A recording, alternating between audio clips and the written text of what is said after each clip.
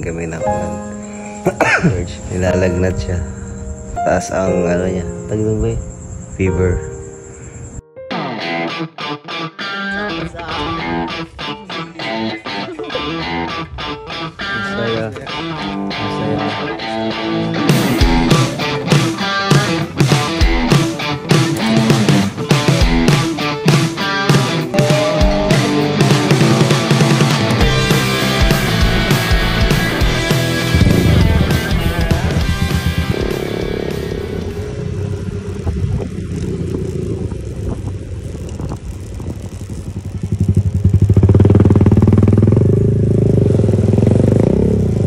1.47am na nang makarating kami dito kila Kuya Will. Mahigit dalawang oras at kalahati din ang tinakbo namin. Sobrang lakas din ang ulan kaya natagalan din kami sa biyahe. Dito na kami kina Kuya Will. 2am na. Bukas ay mag-start kami. Tingnan na kami ni George. 2.15am na.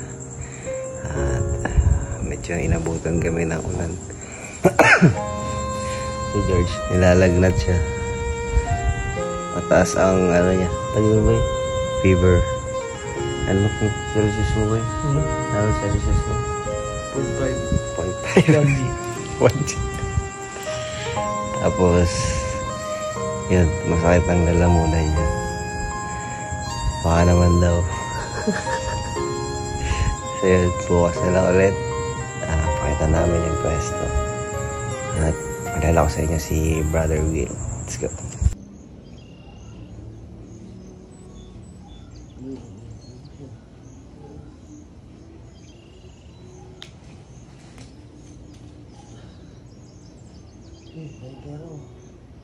Good morning. Good morning. 7, mag-8 a.m. na. Si George durog pa rin. Nakatutok pa sa kanya electric pa, no? Kaya lagad pa yan.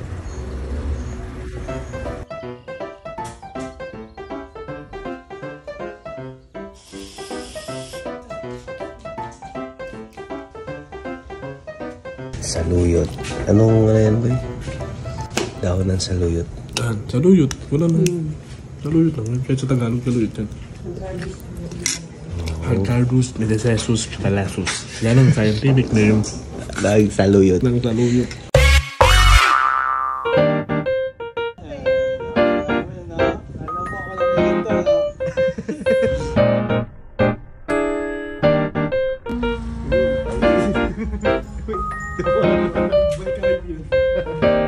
So, dito na kami kina Kuya Will sa kanya, sa kanilang backyard farm. Kanilang mahogany farm. Ayan o. Ayan. Dito. Pag-iwa-hiwalayin daw namin to pag lasing kami.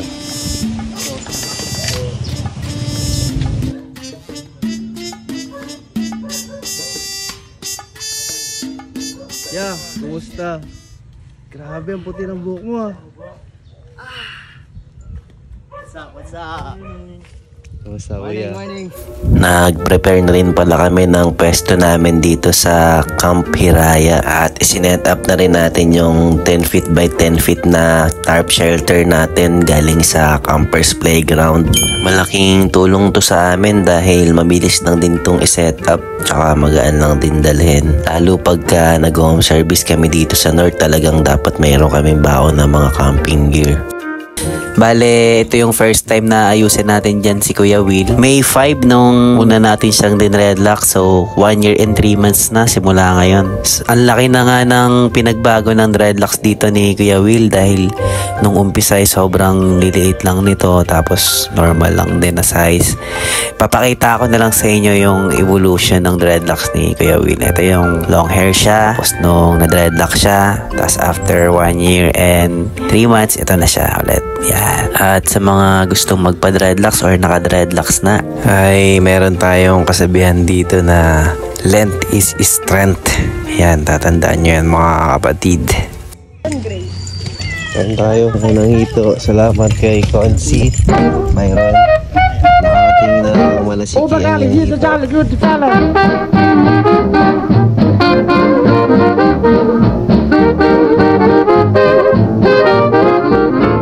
Bodat. O, tanggal kali kau kulihat. Saya. La ukuransi, la ula ukuransi Ay, tingkah-tingkah lo lagu lama dah basi Ay, la ukuransi, la ula ukuransi Ay, lo makan teman tapi gua makan nasi Pala drive ko yung pre no. Nilipad na. May mga ano, tag dito ba Distraction. Distraction na kami dito. Ayan o. Uy, kinain pa. Kahit talaga, kinakain. Uy, Bende na. Yo, di pa rin kami tapos. 8.25pm na. Pero malapit na matapos. Sama natin dito si Kuya Drake. Ayan o. Kuya Drake. Papagod. May gata siya. Hindi nga bumili yelo. Happy birthday, Kuya Drake. Kapang. May umabol si Kuya Gab. Kuya Gab. Eh. Ito perfect cuts makikita nyo. Sabay moves. Sige, siya pakita kung paano ilalagay dyan. Kung, may, kung merong barber cuts, ito, upper cut. Kaya, men. Kaya mag-focus. Ha? Di ba, boy? Kaya na mag-focus Kaya nga, di ba? Focus.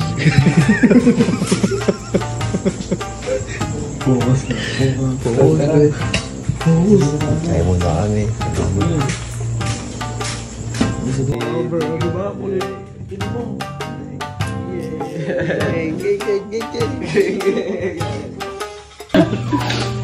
Shoutout nga pala kay Ayuk. Si 2 for 20 nga pala. Shoutout. Abangan nyo.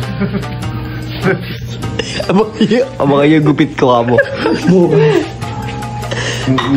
Yan, abangan nyo. Wait.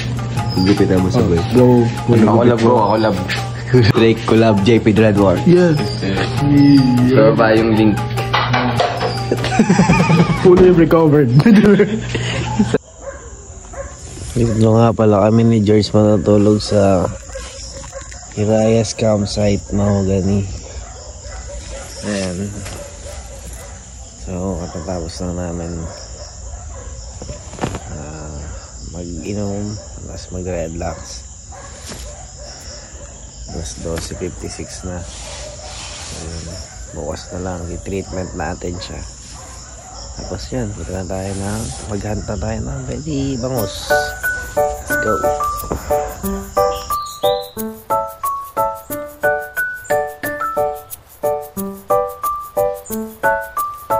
Ayan, tapos na po kami dito. Kilaw yung wheel sa may malasiki.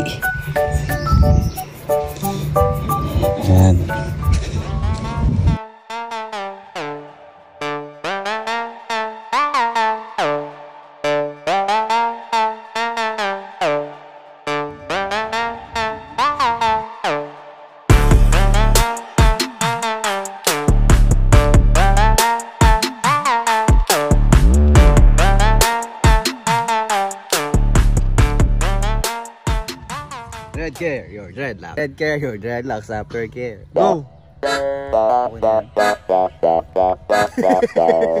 Namamatay pusa.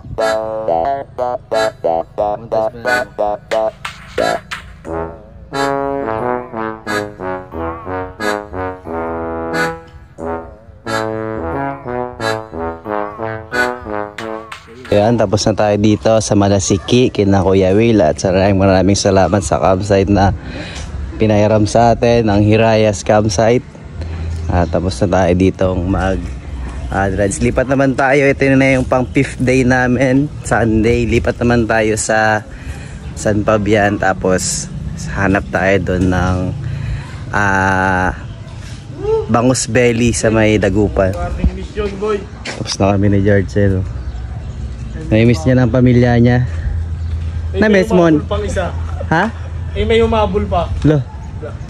Na-miss mo na ang pamilya mo. Gusto mo sa Wagya tayo punta, boy? Uwi na ako, meron akong barber bag na bago. Kain muna tayo. Salamat po sa nagluto. Tapos na kami rito. Papunta na kami ngayon sa San Fabian. So, uh, bakbaka na naman. Nakakita ako ng 7-Eleven, bibili ako mamaya ng Slurpee.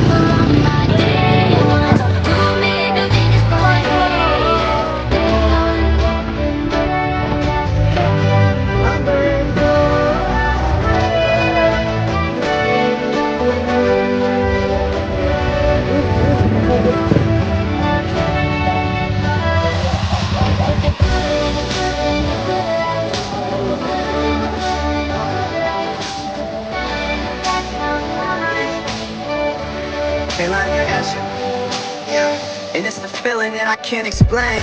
How you make it in your team still stay the same.